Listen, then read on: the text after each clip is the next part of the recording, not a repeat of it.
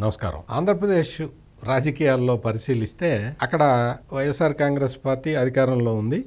ఆ కా ఆ వైఎస్ఆర్ కాంగ్రెస్ పార్టీలో ఉన్న లీడర్లు మామూలుగా చూస్తే ఈయన ఏదో మంత్రి ఈయనకేదో చాలా పెద్ద బలం ఉంటుంది అన్న ఫోజు కొడుతుంటారు కానీ ఎవరికి ఎక్కడ ఏ బలం ఉండదు.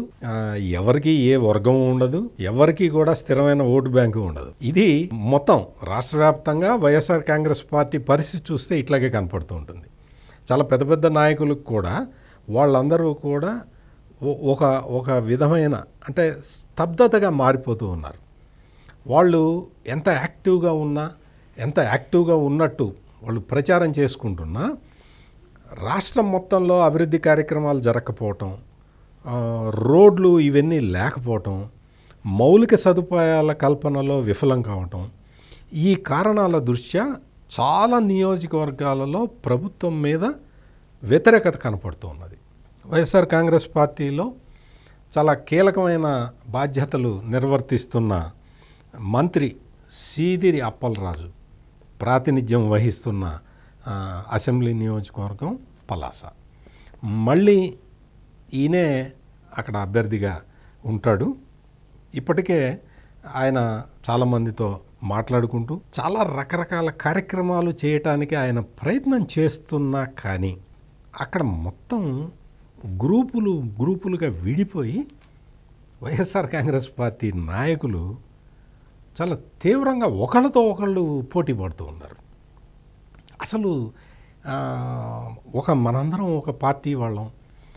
ఈ పార్టీకి సంబంధించి ఏదన్నా ఇచ్చిపుచ్చుకునే ధోరణి ఉండాలి అనేది ఏదన్నా ఒక ఒక యాంగిల్ ఉండాలి కదా ఒక పార్టీ అన్న తర్వాత.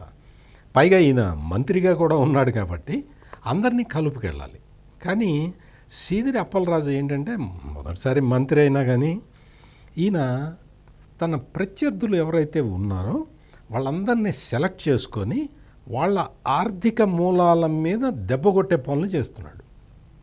మొత్తం అంటే జగన్ ఫుట్ స్టెప్స్లో నడుస్తున్నట్టుగా కనపడుతుంది. అంతే కదా? ముఖ్యమంత్రిగా జగన్ తన రాజకీయ ప్రత్యర్థుల ఆర్థిక మూలాల మీద దెబ్బ కొట్టడంలో ఆయన ఒక మాస్టరీ చేశాడు. అదే పనిని సీదిరి అప్పలరాజు తన పలాస కాన్స్టిట్యున్సీలో చేస్తున్నాడు.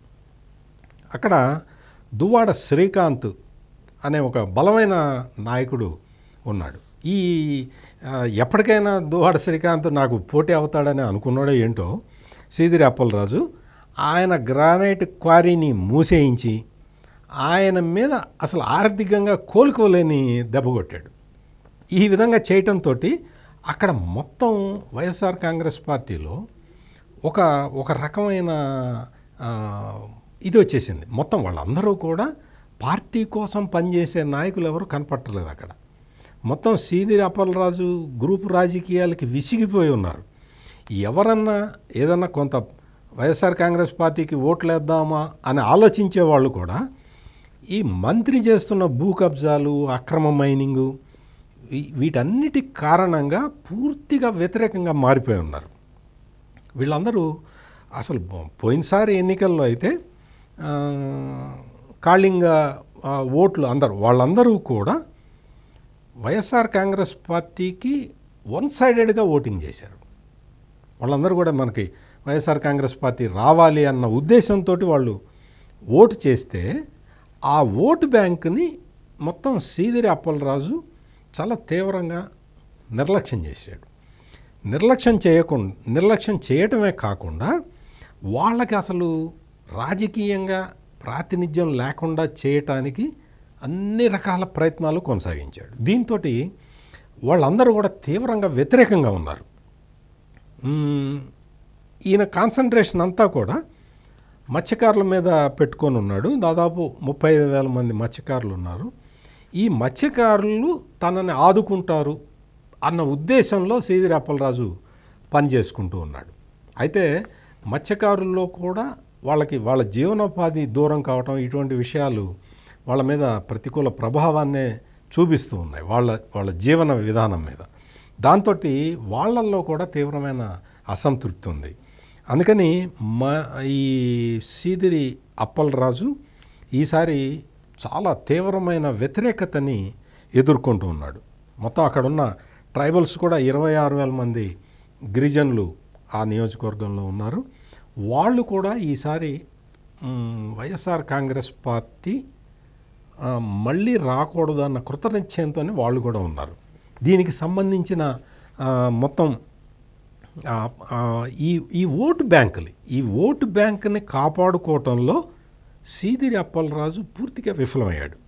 ఫెయిల్ అయిపోయిన పరిస్థితి కనపడుతూ ఉన్నది.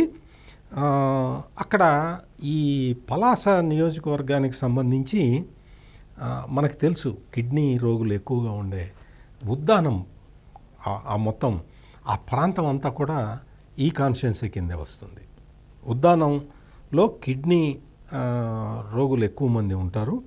వాళ్ళందరికీ కూడా గతంలో తెలుగుదేశం ప్రభుత్వం రకరకాల సౌకర్యాలను కల్పించింది. అక్కడ హాస్పిటల్ని అప్గ్రేడ్ చేయటమే కాకుండా డయాలసిస్ సెంటర్లు ఇవన్నీ అరేంజ్ చేయటం ఇటువంటివన్నీ కూడా తెలుగుదేశం ప్రభుత్వం గతంలో చేసింది. ఇవన్నీ దాదాపుగా ఈ ఈ మొత్తం వ్యవస్థ మొత్తం కూడా సక్రమంగా పనిచేయ పని చేసేలాగా చేయటంలో వైసీపీ ప్రభుత్వం పూర్తిగా విఫలమైంది అనేది ఇక్కడ ప్రధానంగా వస్తున్న ఆరోపణ. తెలుగుదేశం పార్టీ నుంచి గౌతు శిరీష ప్రస్తుతం ఇన్ఛార్జిగా ఉన్నారు. వైసీపీలో ఉన్న మొత్తం ఈ వ్యతిరేక ముఠా అంతా కూడా సీదిరి అప్పలరాజు ఎట్టి పరిస్థితుల్లో గెలవకూడదు అన్న కృతనిశ్చయంతో ఉన్నారు కాబట్టి వాళ్ళందరూ కూడా పరోక్షంగా గౌతు శిరీషకి సహాయం అందివ్వటానికి సిద్ధంగా ఉన్నారు.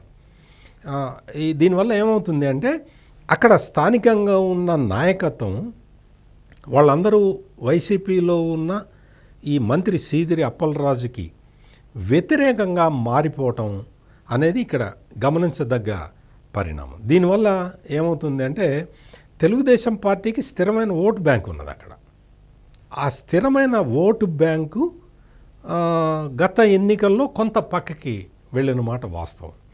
ఇప్పుడు ఈ గౌతు శిరీష ఆమె అక్కడ చాలా కష్టపడి పనిచేస్తూ ఉన్నారు.